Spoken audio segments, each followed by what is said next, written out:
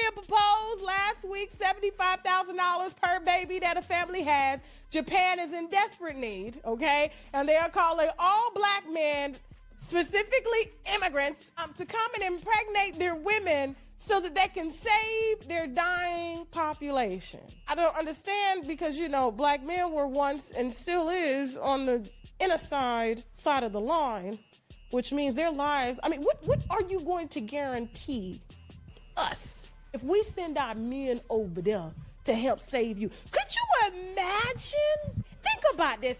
After everything they put us through, everything, y'all trying to take these men out. Now you need them to repopulate the earth? The United States is responsible for what's going on over there in Japan.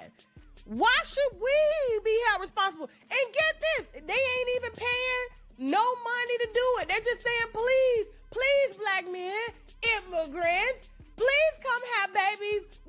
women. Here's the thing.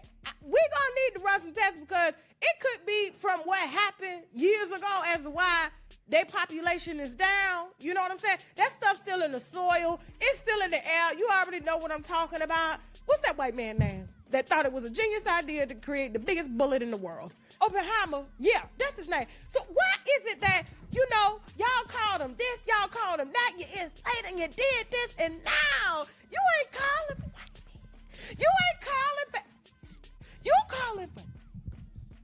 come save your community.